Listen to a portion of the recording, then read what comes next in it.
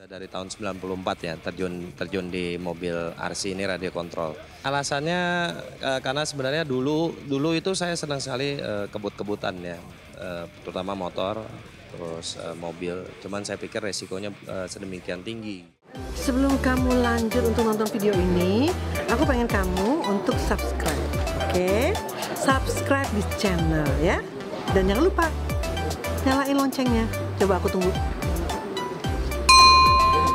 Nah, oke, thank you udah subscribe. Oke, jadi bos, welcome to Teamlicious. Yes, my name is Boy William. We have Catherine dan gue Felicia. dan di sini adalah tempat nomor satu ya. Let's say number one, girls. Number one. Number one untuk mencari tentang data-data or anything information, Semuanya any ya. information on Semuanya. teenage lifestyle. lengkap semuanya. Nah, we have. Gue pengen gue pengen dulu nih Vel. Lu tuh dulu tuh kecil tuh mainan lu apa sih hobi lu? Aku Barbie. Are you serious? Ya, lu kan semua anak kecil yang cewek pasti suka Barbie. Kalau Kalau- Will nih kalau lu. Lu dulu deh, ladies first. Nah kalau gue sih, gue sih gak ada mainan khusus ya. Tapi kalau kakak gue suka main yang mobil-mobil rakitan itu Will. Mobil-mobil rakitan. Pakai remote. Pakai remote. Ah, Oh, oke. tahu tuh, Talking about remote control cars nih ya, gue punya liputan nih ya. Nah, kemarin ada orang namanya Teddy Shah. Teddy Shah. Tahu kan Teddy Shah pemain sinetron, he's Siapa yang famous. gak tahu coba? Ganteng Ganteng lagi Exactly. yang katanya kalau Up to you, that's your decision. Nah, pokoknya dia itu punya remote control car. Iya. Dan mau dibilang mainan, nah not really a mainan juga ya, bisa Hobi dibilang ya, bisa mainan. dibilang ya. Hobi, that's right, you got the word right. Hobi, jadi dia ini suka balapan di Sentul, like it's a touring race, pakai mobil remote control itu.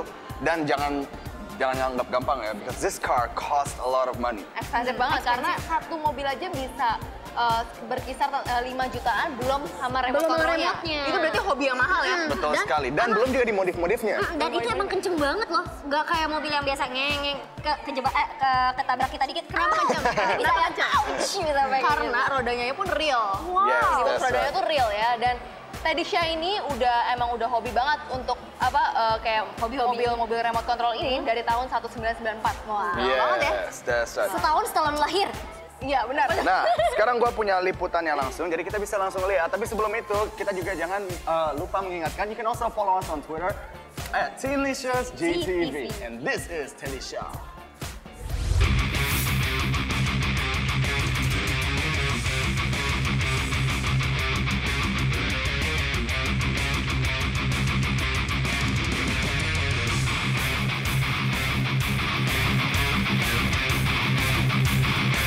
Oke, permainan RC ini ada dua macam, eh, dibagi engine dengan elektrik. Elektrik ini memakai bahan baterai, kalau yang engine pakai gas. Udah dari tahun 94 ya terjun terjun di mobil RC ini radio kontrol. Alasannya eh, karena sebenarnya dulu dulu itu saya senang sekali eh, kebut-kebutan ya, eh, terutama motor, terus eh, mobil. Cuman saya pikir resikonya eh, sedemikian tinggi. Jadi ada electric powered class seperti ini yang sekarang kita pertandingkan hari ini adalah electric powered stock stock class.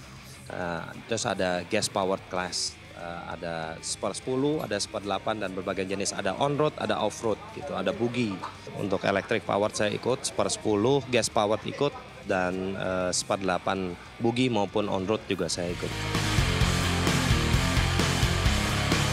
Eh, prestasi untuk di Indonesia tahun ini eh, nilai saya untuk kejurnas sudah diamankan untuk posisi pertama kejurnas. Jadi eh, seri terakhir mau ikut atau tidak ikut eh, saya sudah aman juara satu nasional. Perawatannya itu pada mobil adalah kita di bagian penggerak. Jadi eh, bagian penggerak itu tidak boleh kotor dan itu harus selalu dilumasi. Karena kita sebagian besar mobil mobil seperti ini menggunakan ball differential ya ball differential seperti ini. Nah, jadi ini ini yang harus selalu dilumasi di bagian-bagian penggerak maupun di shock breakernya sendiri. Nah, ini shock breaker kayak real ya. Jadi dia ada oli di dalamnya, ini yang nggak boleh kurang, yang selalu harus kita cek. Nah, penggunaan spring maupun segala macamnya yang ada di sini, ini harus harus selalu bersih. Eh, RC ready control car itu memang memang eh, relatif mahal ya untuk sebagai sebuah hobi karena sekaligus hobi ini sebuah permainan juga tergantung kita. Kalau memang untuk dijadikan sebuah permainan mobil mobil radio kontrol ini mungkin masih relatif murah. karena dia banyak kelasnya. Ada uh, untuk pemula, untuk junior maupun nanti sampai ke kelas profesional. Mobil RC ini akan akan uh, memakan biaya cukup banyak ketika kita menjadi seorang profesional gitu. Sebaiknya kita pengenalan dulu produk, pengenalan lintasan, uh, jangan ugal-ugalan. Memang kalau kita hobi ngebut tapi tetap aja ini adalah lintasan ada penghalangnya, ada atau barrier gitu. Uh, tapi kita coba mobil itu pelan-pelan. Nikmatin dulu. Nanti kalau memang sudah bisa, gaspol, jangan ragu. Yang bagus nih. I like this one, man. But Tini Bobs, anyway, welcome back on Teamlicious. Teamlicious, udah Yes, nih. Teamlicious. Masih mau dicuekin up, Bobsnya. Kita lagi asik lihat Eh, ini. Kita belum bosen nih. Tadi ya. Tini Bobs, tunggu dulu. Kita back on business nih. Ya udah ngomongin ini terus nih terus. Terus nah Tini Bobs tadi kita udah lihat liputan tentang remote control car. Iya nggak Will? Kenceng banget ya. Kencang banget dan keren-keren ya pastinya ya. Teddy is so lucky, man. I want one of that. Where do you buy that stuff, man? Nanti bisa tanya-tanya langsung ke Will. Yes. Nah, Dan kita, sekarang? kali ini nih kita punya informasi tentang musik. Who likes music? Semua juga Kita siapa semua sih ya dong. yang suka musik ya, yang Nah, nggak Tini Bobs? Kali ini gue punya informasi tentang band baru. Mereka memang band baru, tapi personilnya ini udah lama berkecimpung di Betul dunia sekali. musik. Nah, Udah veteran. ini. Iya. Salah satunya dari apa? ada Teguh dari Steven and Coconut Trees. Terus Dan ada apa lagi, Sel? Ada Teddy dari Saint Loco. Kok lu ngambil jatah gue? Anyway, keep going, Felicia. Ada siapa lagi? Ada siapa lagi? Nah, Ada kita siapa lagi? dulu biar Tini Bobs pada penasaran nih. Nah, kalau Tini Bobs sudah mau tahu, langsung aja kita lihat liputannya. Ini dia.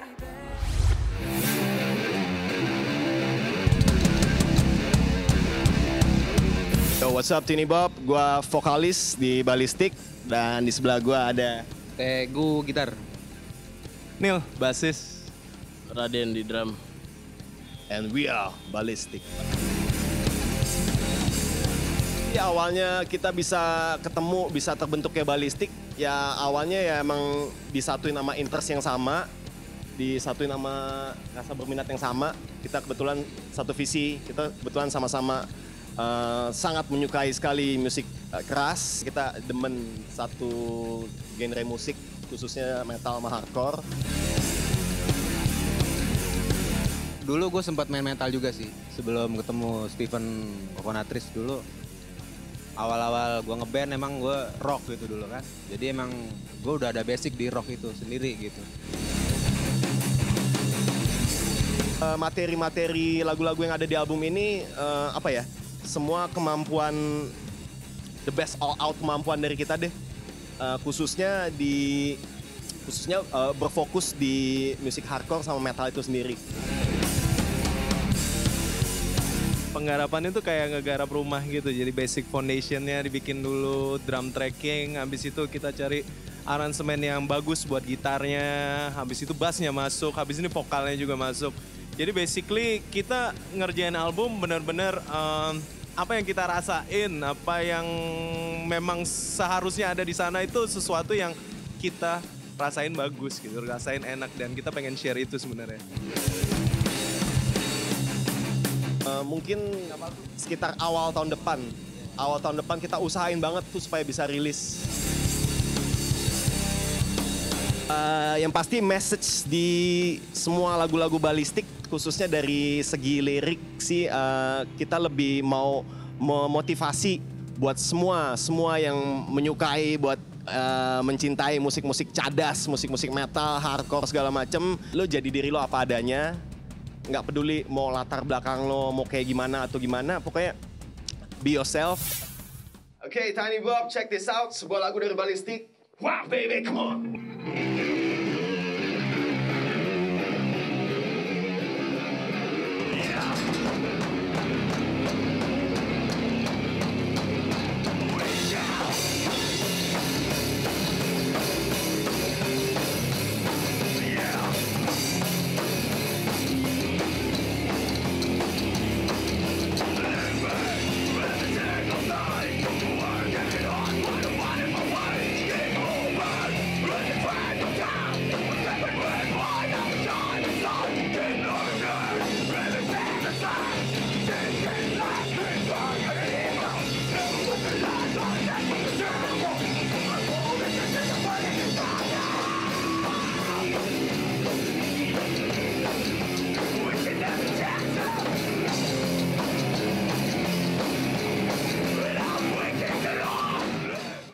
Back Tini Bobs on Teenlicious. Yes, you guys like that? Anyway, sekarang gue punya informasi tentang photo shoot. Who likes photo shoots? Eh, tetap fashion. Fashion, Yes. fashion spread. It's your girl's turn, man. This is for you guys. Tadi kan kita udah ngomongin mobil, udah ngomongin band. Now it's the girl's turn. Fashion ya. Yes, dan Nah, tema bajunya adalah apa Vel? Batik ya Vel ya? Batik. Siapa yang suka batik? Tini Bob pasti suka kan? Pasti dong. Tini Semuanya juga suka. Nah, salah Tapi ya? Hayantin ini, Hayantin ini lagi mm, membahas tentang batik Oh, iya. untuk anak muda. Nah, biasanya kan anak muda kayak ber- eh, identik dengan batik tuh daster ya nggak sih? Iya dasar yang yang pokoknya kuno-kuno gitu Heeh, ya. Nah, kali ini di fashion spread kali ini kita mau kasih batik yang modern. Modern Biar- yang zaman sekarang. Heeh, biar Betul semua sekali. anak muda bisa bangga pakai. karena karena girls sebagai orang Indonesia kita harus bangga menjadi orang Indonesia Betul, Pak. pakai uh, Pakai batik. batik juga. Jangan kayak gini-gini terus ya ya. Harus Exactly. Pakai batik. Kapan-kapan nih? dong. Next week kita pakai batik? Boleh. Anytime? Boleh, boleh. We'll see, we'll see, we'll see. Nah. Mau lihat keseruannya kan? Mau lihat pasti ya.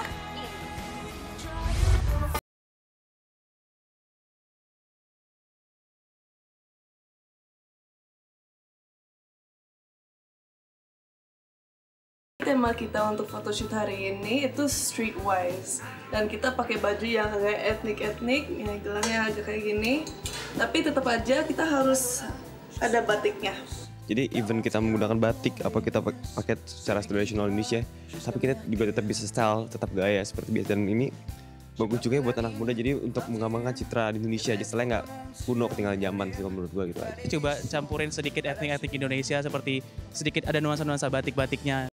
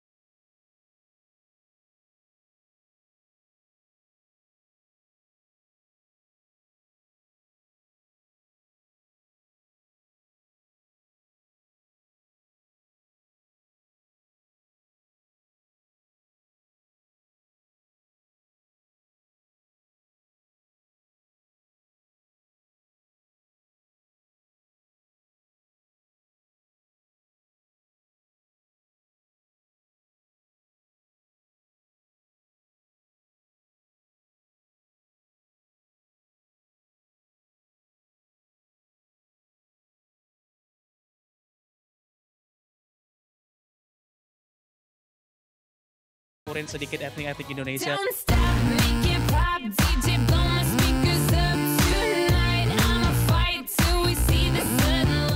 Nah itu dia Tini Bobs, itu tadi batik-batik modernnya kita ya yang dipersembahkan Woi. oleh High End Team. Nah, gue terinspirasi banget tuh Will dari situ.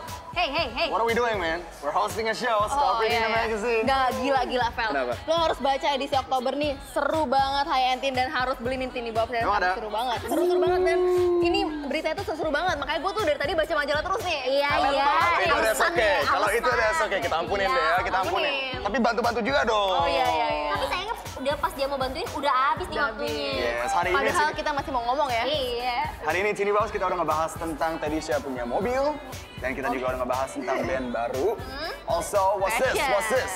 XL XL, do not forget XL. dan juga ada Yes, right. fashion. Nah, udah deh.